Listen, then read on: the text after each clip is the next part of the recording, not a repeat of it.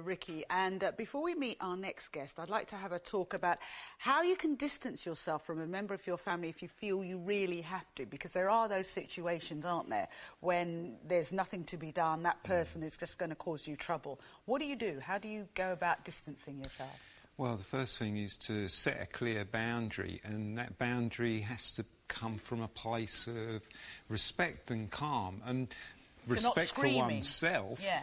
Firstly, and respect for the other person. Because, yeah, if you're screaming at the other person, this is what I want, and yeah, demanding it, you're more likely to fail rather than saying, look, this is how things are, this is what's going to happen, this is what is not going to happen. And right. just being very clear, very firm about it, not entering into a huge amount of dialogue about it as well, and sticking to it. That is the real key, because so many people set a boundary and then 10 seconds later, oh no, I didn't mean well, we've it. seen it on the show. Yeah. They came round to the house and they let them in, and, and that person still thinks yeah. they've got a chance. There's got to be a consistency so the message has got across. Yeah, and you don't have, and I guess in the end you shouldn't feel guilty about it if Absolutely. it protects you. Yeah, that's right.